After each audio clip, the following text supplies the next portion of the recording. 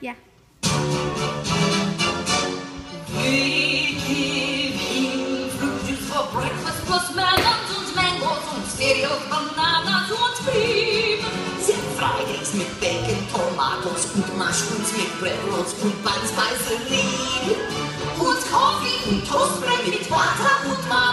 Sweetmeats und Wheatmeats galore.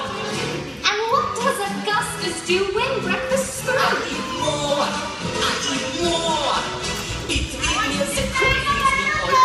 kinds of chocolates and puddings and snacks.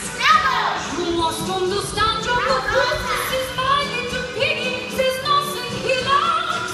Mom has Hanukkah by sent in his sacks. Cause they have little goofy relax. Then dinner, of course, it is meal of the day when Augustus comes right off his diet. It's hamburgers, hot dogs, and ten tons of french fries, bouillon, keep